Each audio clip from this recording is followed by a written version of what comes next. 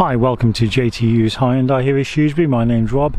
Just going to take you around uh, what will be our demonstrator i10, 1 litre petrol manual play edition.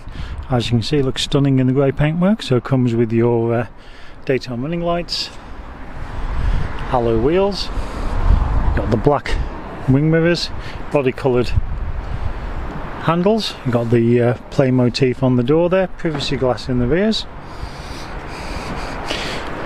start having a look inside the uh, good sized boot. As you can see great size for a city car 60-40 split rear seats for any large items. Got a courtesy light up in the corner there.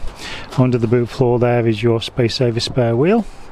And you've got your uh, parcel shelf there. To keep everything nicely out of sight. Now say this is the one litre petrol play edition so high spec uh, but very economical to run, low insurance, good leg and headroom for a city car, three full seat belts across the back, Isofix fittings on the two outer seats.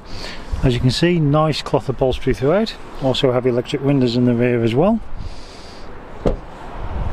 And if we move into the front, again, nicely shaped supportive front seats, height adjustable on the driver's seat, Got your centre console there with plenty of storage, a couple of cup holders, 5 speed manual gearbox, USB, auxiliary input, power socket, air conditioning.